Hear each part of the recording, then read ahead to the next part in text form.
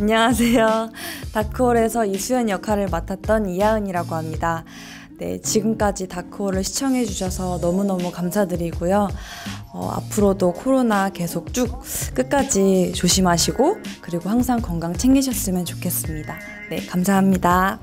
부담감도 컸었고, 고민도 많이, 정말 많이 됐었는데, 그만큼 수연이를 좀 잘 이해하기 위해서 책과 뭐 다큐 아니면 영화 같은 것도 많이 참고를 하면서 그만큼 고민을 더 많이 하면서 노력을 했었던 것 같습니다.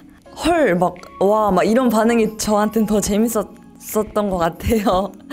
뭔가 다른 반응보다도 네, 그런 반응이 좀 더 뭔가 살아있고 네, 감사한 반응이었던 것 같습니다.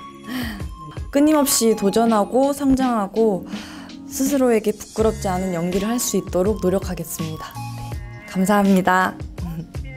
지금까지 배우 이하은이었습니다. 네, 많은 사랑 부탁드립니다. 감사합니다.